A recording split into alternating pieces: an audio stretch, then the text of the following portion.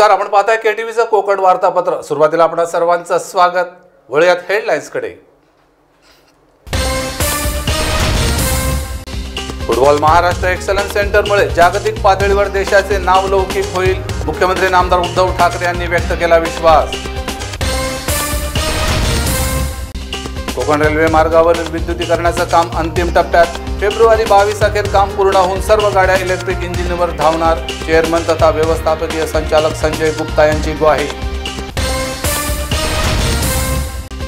मागील पंधरा दिवसांपासून सतत पडणाऱ्या गुलाबी थंडीचा आंबा झाडावर होत आहे चांगलाच परिणाम. मोहराने झाडे गेली फुलून आणि कोकण रेल्वे मार्गावरील विद्युतीकरणाचं काम पूर्ण होत आलं असलं तरी दुहेरीकरणाचं काम मात्र रखडलेलंच.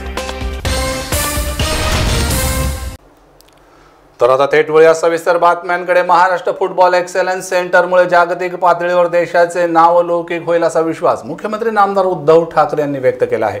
नवी मुंबई खारघर येथील फुटबॉल उत्कृष्टता केंद्राचं उद्घाटन मुख्यमंत्री नामदार उद्धव ठाकरे यांच्या हस्ते आणि इतर मान्यवरांच्या उपस्थितीत ऑनलाईन पद्धतीने करण्यात आलं.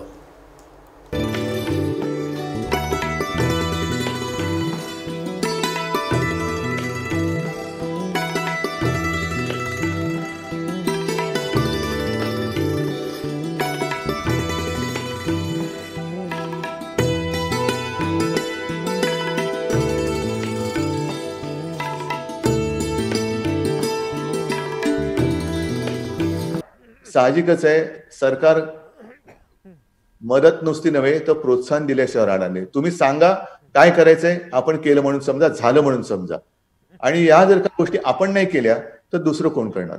आज मला खरंच मनापासून आनंद वाटतोय की हे ग्राउंड आपण निर्माण केलेलं आहे.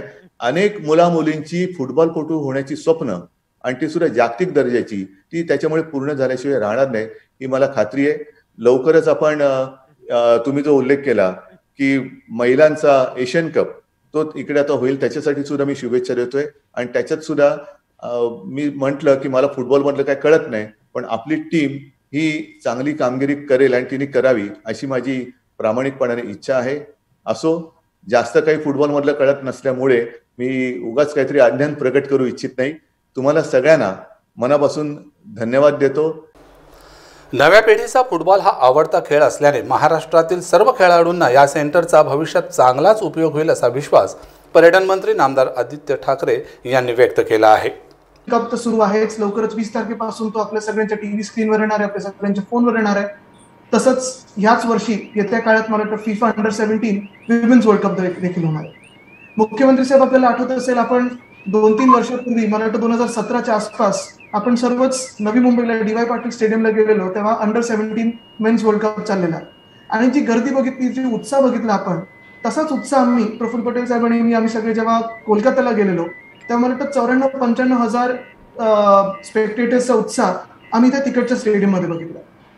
त्यावेळी देखील आम्ही एक गमती ट्विट ट्विट केलेलं प्रफुल्ल पटेल साहेबांनी आम्ही की त्यांच्या पार्टी अध्यक्षांचे जे बीसीसीआय आहे त्याच्यापेक्षा थोडी गर्दी आम्ही जास्ती जमवलेली. आणि ते ट्विट मला वाटतं पवार साहेबांनी देखील बघितलेलं. पण हे होत असताना मला वाटतं जेव्हा अंडर सेव्हन्टीन वर्ल्ड कप होता त्या एक वर्ष आधी आपणच मुख्यमंत्री साहेब आपण आणि प्रफुल्ल पटेल साहेबांनी आपल्या अंधेरीत शहाजीराजे क्रीडा स्टेडियममध्ये आपण मुंबई फुटबॉल अरेना ह्याचं उद्घाटन केलं. आणि तिथून जी एक आपल्याकडे इंटरनॅशनल फुटबॉल गेमची माळ सुरू झाली त्याच्यात आपल्याला आठवत असेल इंडिया वर्सेस पेरू हा पहिला गेम त्याच्यानंतर अनेक इंटरनॅशनल गेम झाले. आणि नुसतं इंटरनॅशनल गेमसाठी नाही नुसतं इंटरनॅशनल टुर्नामेंटसाठी नाही तर आपल्या स्थानिक मुला मुलींना सगळे जे लोकल टीम्स आहेत त्यांना देखील सर्वोत्तम स्टेडियम मिळालं सर्वोत्तम फॅसिलिटीज मिळाल्या. आणि हे होत असतानाच आपल्या इंडिया टीमसाठी देखील हे Mumbai football arena lucky stadium ठरलं. खारघर येथे सुरू करण्यात आलेल्या फुटबॉल महाराष्ट्र एक्सलन्स सेंटरमुळे आंतरराष्ट्रीय दर्जाचे खेळाडू घडतील असं खासदार प्रफुल्ल पटेल म्हणाले. सर्वप्रथम मुख्यमंत्री महोदय आपल्याला आणि बाकी सर्वांना मकर संक्रांतीची शुभेच्छा.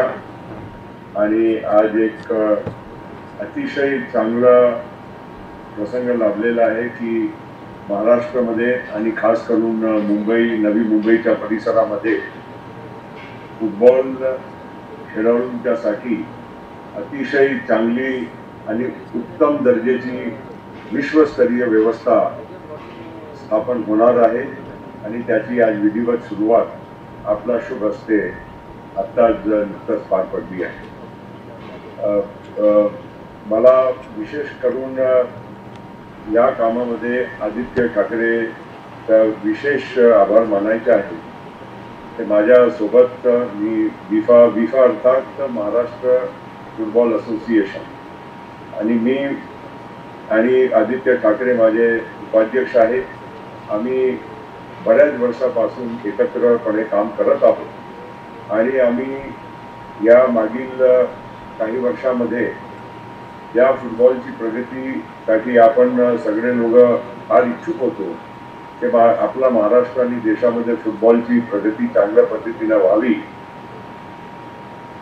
मला आनंद हे गोष्टीचा वाटते की खास करून महाराष्ट्रामध्ये आपण जिल्ह्या जिल्ह्यापर्यंत आता फुटबॉलला पोहोचवण्याचं काम केलेलं आहे. नवी मुंबईकडे एज्युकेशन आणि आय टी सिटी म्हणून पाहिलं जातं. मात्र आता यापुढे स्पोर्ट्स सिटी म्हणून पाहिलं जाईल असा विश्वास नगरविकास मंत्री नामदार एकनाथ शिंदे यांनी व्यक्त केला आहे कारण हे सेंटर ऑफ एक्सलन्स जे फुटबॉलसाठी अतिशय उत्कृष्ट असं दोन ग्राउंड झालेले आहेत. मी स्वतः ते पाहून आलो. अतिशय उत्तम ग्राउंड त्या ठिकाणी झालेली पाहिली. आणि डॉक्टर संजय मुखर्जी आणि त्यांची टीम अतिशय मनापासून हे काम करते आहे. अ, खरं म्हणजे हे एक साडे दहा हेक्टरवर हा मोठा सेंटर ऑफ एक्सलन्स हा प्रकल्प होतोय. एकूण तीन टप्प्यामध्ये हा प्रकल्प होतोय. मगाशी डॉक्टर संजय मुखर्जी यांनी त्याची सविस्तर माहिती देखील दिलेली आहे. एक जागतिक दर्जाचं फुटबॉल स्टेडियम ठरेल. आपण फिफा मानांकाची संपूर्णपणे पूर्तता करून हे हा प्रकल्प विकसित करतोय. याप्रसंगी पर्यटन राज्यमंत्री नामदार आदिती तटकरे राज्यमंत्री प्राजक्ता तनपुरे पनवेल महानगरपालिकेच्या महापौर डॉक्टर कविता चौटमल खासदार श्रीरंग बारणे आमदार बाळाराम पाटील प्रशांत ठाकूर आदेश बांदेकरसह हितचिंतक उपस्थित होते. सिडकोचे व्यवस्थापकीय संचालक डॉक्टर संजय मुखर्जी यांनी एक्सेलन्स सेंटरविषयीची सविस्तर माहिती दिली. या दृष्टिकोनातून ब्रँड करणे आणि या ठिकाणी खेळाचे जे उत्तम साहित्य उपलब्ध करून देणे या इनिशिएटिव्हच्या अंतर्गत या इनिशिएटिव्हच्या अंतर्गत स हे प्रकल्प घेण्यात आलेला आहे. नवी मुंबईमध्ये आपण centre of excellence in sports एवढंच नव्हे तर आपण एक आंतरराष्ट्रीय दर्जाचा गॉल्फ कोर्स एक आंतरराष्ट्रीय दर्जाचा रग्बी स्टेडियम एक आंतरराष्ट्रीय दर्जाचा स्टुटी शूटिंग ग्राउंड अशा प्रकारचे आपण विकसित करत आहोत. सेंटर ऑफ एक्सिलन्समध्ये आज आपण दोन फुटबॉल पिचचे उद्घाटन करत आहोत परंतु या ठिकाणी चार फुटबॉल पिचेस असतील. तशाच प्रकारे एक हाय परफॉर्मन्स सेंटर आणि क्लब हाऊस आणि एक चाळीस हजार प्रेक्षकांचे कॅपॅसिटी असलेले एक क्लब हाऊस जे की फिफा मानकाने असणार म्हणजे भारताचे पहिला फिफा सर्टिफाईड स्टेडियम अशा प्रकारच्या करण्याच्या सिटकोचा मानस आहे. तशाच प्रकारे जे आपण गॉल्फ कोर्स करतो आहे ते इंटरनॅशनल स्टँडर्डवर करायचं काम सुरू झालेलं आहे. रग्बी असोसिएशनला जागा देण्यात आलेली आहे आणि शूटिंगचे जे जागा आहे ती आयडेंटिफाय झालेली आहे. ह्या सेंटर ऑफ एक्सिलन्समध्ये आज एशियन फुटबॉल कॉन्फेडरेशन चा women's Asian world women's Asian cup two thousand twenty two याचे सराव या ठिकाणी होणार आहे आणि त्या दृष्टिकोनातून हा मैदान हे एशियन फुटबॉल कॉन्फेडरेशनला हस्तांतरित करण्यात आलेलं आहे. क्रिकेटप्रमाणेच फुटबॉल हा जागतिक पातळीवर क्रीडाप्रेमींमध्ये सर्वात जास्त आवडता खेळ असतानाच महाराष्ट्रामध्ये फुटबॉल एक्सलन्स सेंटर स्थापित झाल्याने राज्य पातळीवरून उत्तम फुटबॉलपटू तयार होतील अशी अपेक्षा व्यक्त करण्यास काहीच हरकत नाही. वळूयात पुढच्या बातमीकडे. कोकण रेल्वे मार्गावर दोन हजार सोळा साली सुरू करण्यात आलेल्या विद्युतीकरणाचं काम अंतिम टप्प्यात आलं असून फेब्रुवारी दोन हजार बावीस अखेर हे काम पूर्ण होईल असं व्यवस्थापकीय संचालक संजय गुप्ता यांनी सांगितलं आहे.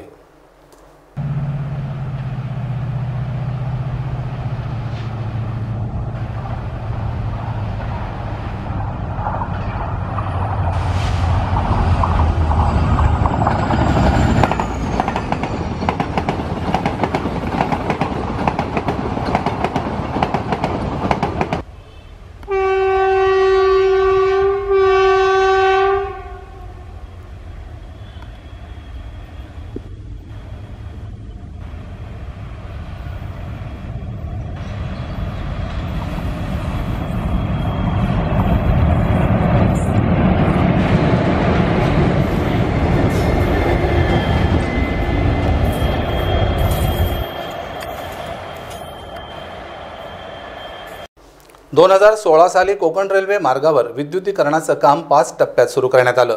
त्यामध्ये रोहा ते रत्नागिरी रत्नागिरी ते वेरणा आदी टप्प्यात काम सुरू करण्यात आलं आणि चार दिवसांपूर्वीच वेरणा कारवार मार्गावरील काम पूर्ण झाल्याने तेथे इलेक्ट्रिक इंजिनची चाचणी घेण्यात आली.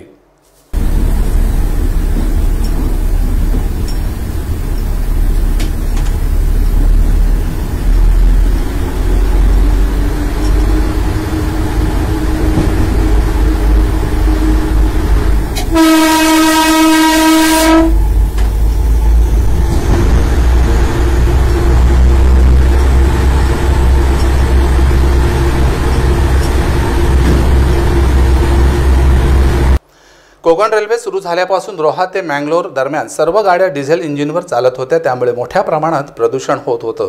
त्यामुळे केंद्र शासनाने सुमारे बाराशे कोटी रुपये खर्चाच्या विद्युतीकरणाला मंजुरी दिली आणि आजच्या घडीला विद्युतीकरणाचं काम अंतिम टप्प्यात आलं असून हे सर्व काम फेब्रुवारी दोन हजार बावीस अखेर पूर्ण होईल आणि कोकण रेल्वे मार्गावर यापुढे सर्व गाड्या इलेक्ट्रिक इंजिनवरच धावतील असं सांगण्यात आलं.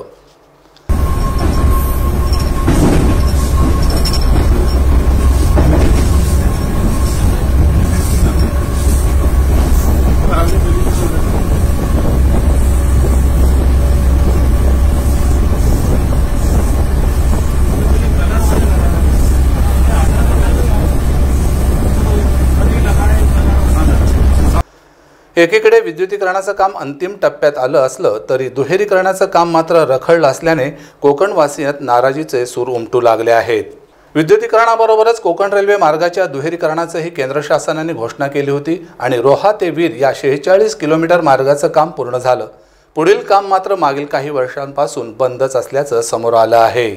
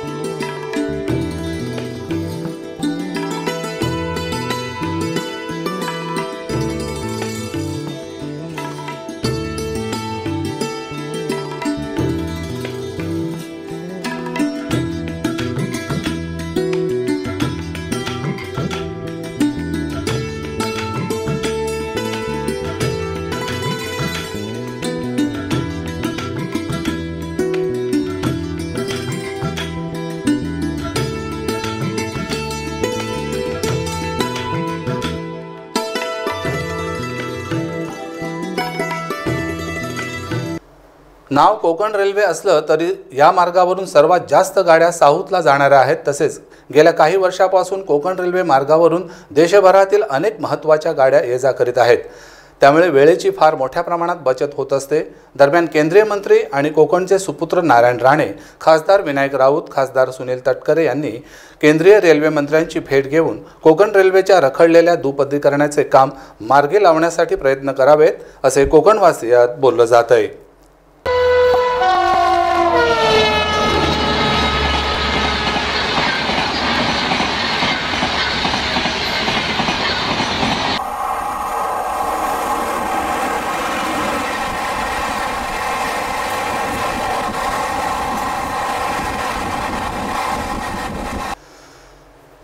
कोकण रेल्वेमुळे कोकणासह संपूर्ण दक्षिण क्षेत्र एका रुळावर जोडलं गेलं आणि प्रवासी वर्ग देखील प्रचंड प्रमाणात या मार्गावरून ये जा करू लागला.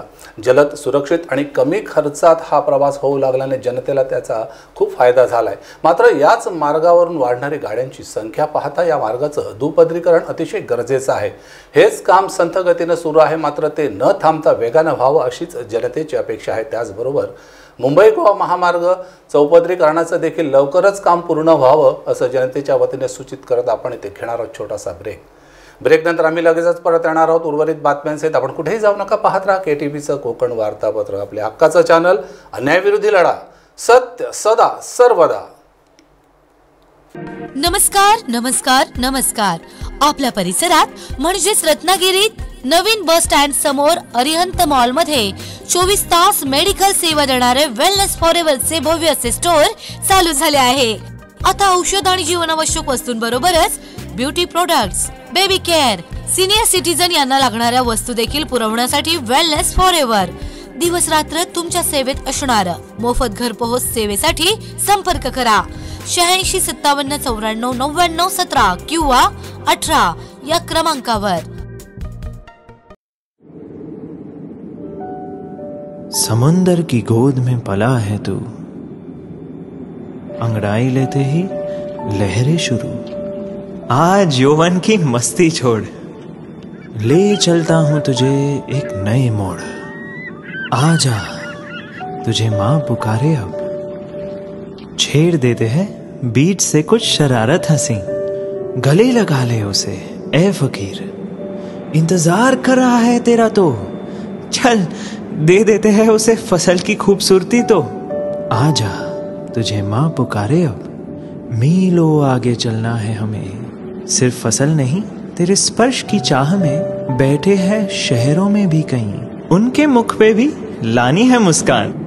उन्हें भी देनी है एक नई पहचान। आजा तुझे माँ पुकारे अब। फिनोलेक्स पाइप्स पहुँचाए पानी को अपनी माँ के पास।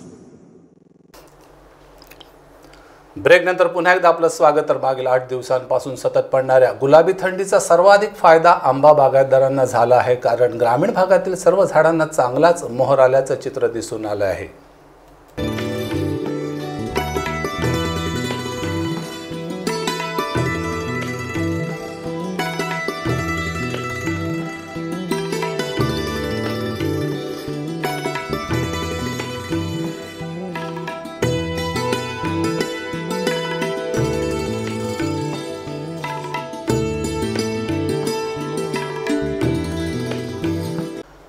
डिसेंबर महिन्यात अधूनमधून पडणारी थंडी वेगवान वारे आणि ढगाळ वातावरण तसेच अवकाळी पावसामुळे आंबा आणि काजू बागायदारात चिंतेचं वातावरण पसरलं होतं. मात्र आता नवीन वर्षाच्या प्रारंभीच दिवस रात्र थंडी पडत असल्याने आंबा आणि काजू झाडांना चांगलाच मोहर आला असल्याचं दिसून येत आहे.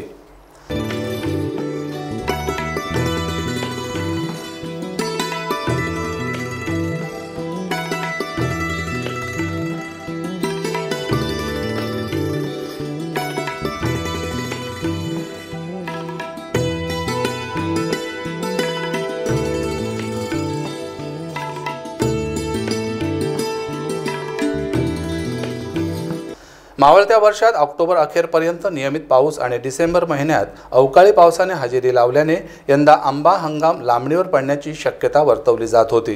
त्यामुळे आंबा बागायतदारात काही काळ चिंतेचं वातावरण पसरलं होतं.